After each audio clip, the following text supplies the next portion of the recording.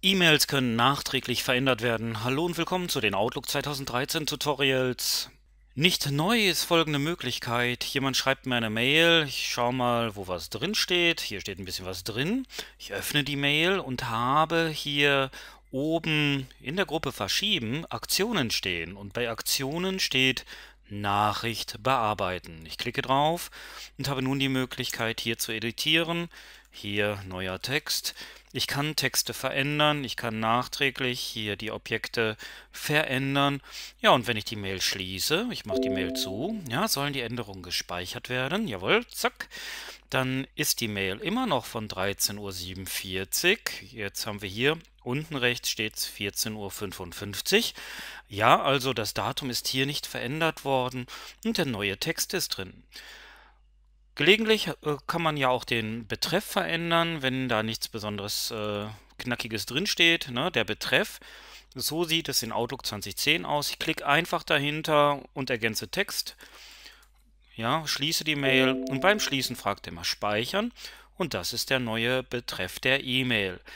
Die Frage, dürfen wir das, unterliegt die Mail der Archivierungspflicht, muss die unverändert auf dem Server abgelegt werden? Ja, also wenn, ich, wenn das nicht der Fall ist, dann würde ich mich auch dran trauen und das verändern.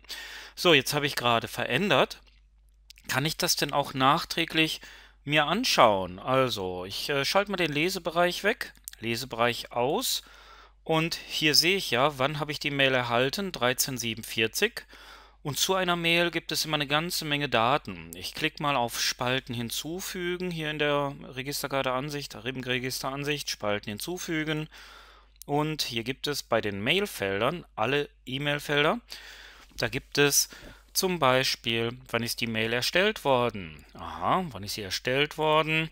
Das könnte ja spannend sein, ne? Wann ist die Mail erstellt worden? Wann ist sie geändert, geändert worden?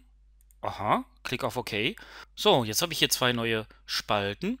Na, ich mache das Ganze mal ein bisschen, äh, Moment, bisschen schlanker, dass hier Platz ist. Also erstellt worden ist die Mail um 1347. Das kann ich nachträglich hier nicht sehen. Firmenintern kann ich manchmal sehen. Ist mir schon passiert. Jemand hat um 14 Uhr die Mail erstellt und ich habe es um 16 Uhr erhalten. Da ist wohl zeitverzögert verschickt worden. Aber hier, da wollte ich drauf hinaus. Die Mail ist verändert worden. Ich habe hier nachträglich die Mail modifiziert. Die ist hier nochmal von mir 14.56 Uhr angepackt worden.